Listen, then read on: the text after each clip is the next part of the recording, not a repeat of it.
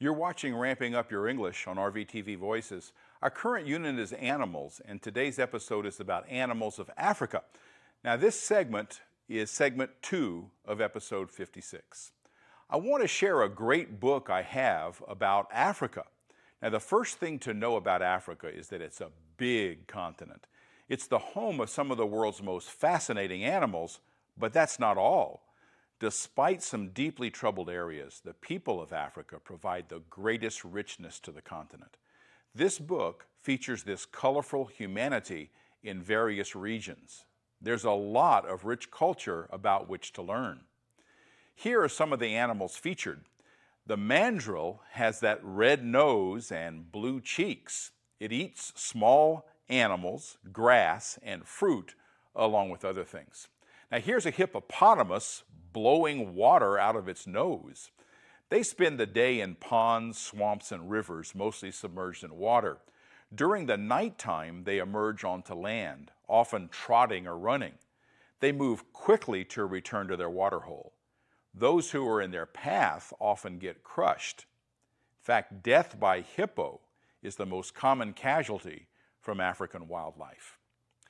I think this is my favorite picture in the book you can appreciate the calmness and the sheer size of the western lowland gorillas, but also see the heavily armed soldier.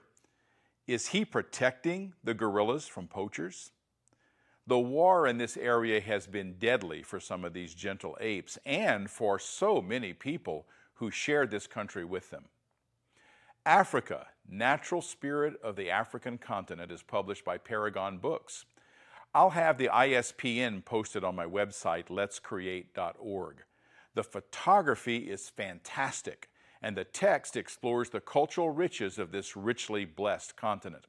I highly recommend you find it at your local library or look it up to see if you can own your own copy. Now, when you think of African animals, you probably think of lions as well as elephants, gorillas, and hippopotamus. Known as the king of beasts, the African lion is known for its ferociousness. Well, you're looking at the very definition of apex predator. Lions inhabit grasslands and arid areas of Africa south of the Sahara Desert. Now, they live in groups called prides, and each pride has one mature male. He's the alpha, he's the one who uh, gets to mate with the females. He does not hunt, but he gets the first morsel from the kill.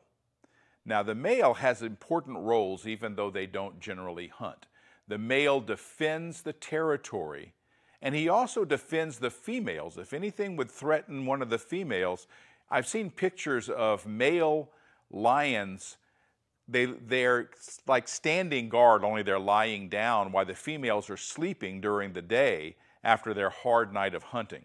Now, as I said, the females do the hunting, usually in groups. A female can hunt by herself, but she's not going to have the same success rate as when they cooperate and hunt together. The males are distinguished from the females by those bushy manes they have on their necks.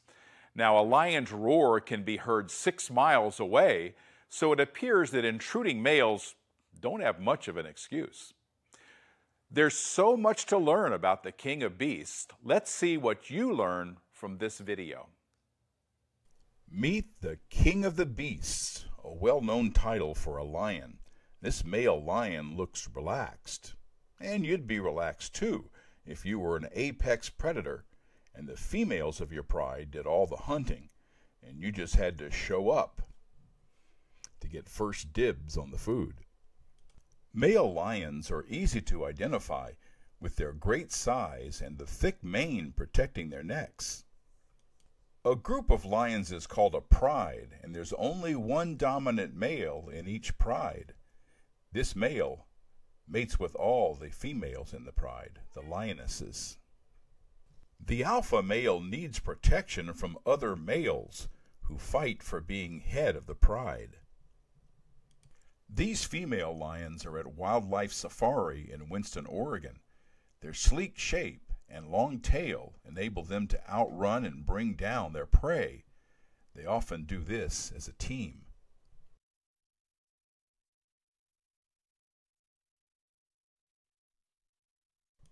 This lioness is at the Oakland Zoo in California. Lions live in the wild in Africa, but most zoos and wildlife parks in America have lions. Lions are the top members of a class known as big cats.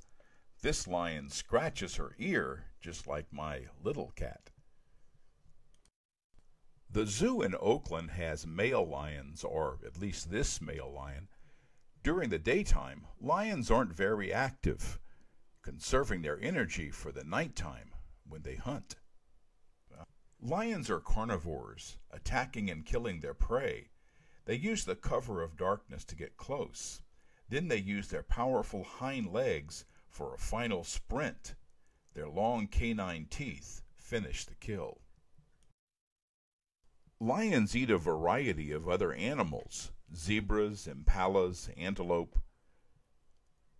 While they're not the fastest of animals, they're among the five fastest.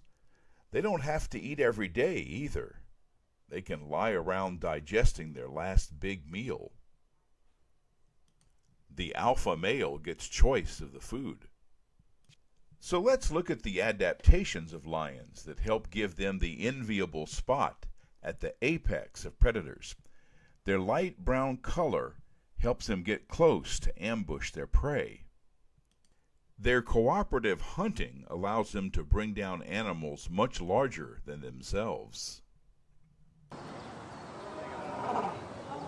making noise.